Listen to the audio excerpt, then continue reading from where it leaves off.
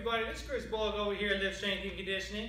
Today we're going to be talking about the trap bar deadlift. So two versions, our normal trap bar has a high bar and a low bar, okay? So you can use either one of those. Typically the people with some better mobility, sometimes a little bit shorter people, we can go from that low bar. Sometimes you get the really big tall guys, we want to move up to that high bar or even slightly elevated for this. Really love this tool also for teaching the deadlift. So for new people that are not quite ready for that conventional bar deadlift, this is a great place to start to learn that hip hinging pattern, okay? So when you get set up, we're gonna step inside this guy. We're gonna be in a pulling stance. So we're about hip width apart with the feet. We can toe out just a little bit, five to 10 degrees. From here, we're gonna be taking the hips and we're gonna be breaking back at those hips with a really flat back right here. Okay, we want that shin mostly vertical and we want great contact with the feet.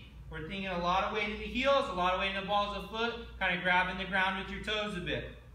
We grab our bar, our head is down, our spine is in a neutral position, and we're gonna do two things before we lift this up. We're gonna take and we're gonna pull the slack out of the bar, and I'll show you what that is in a sec, and we're gonna drive our shoulder blades into our back pockets. So that means down. So I don't wanna pinch them together, and I don't wanna elevate them, I just wanna slide them down. So we're getting some lat engagement, that compresses our spine and gets us in a nice safe spot. So I'm gonna come down here, I'm gonna pull my tension out of the bar, which is that little click right there. So there's a little space in those weights, and we wanna take that out before we lift. And I do that by pushing my feet into the floor. So I'm gonna push my feet, I'm gonna push my shoulder blades into my back pockets, and I'm gonna drive my hips forward. So I finish with my glutes tucked under, my ribs are down, and I'm nice and straight in my alignment. I'm gonna put it down the same way I picked it up. So my hips go back, same position, drive my hips forward.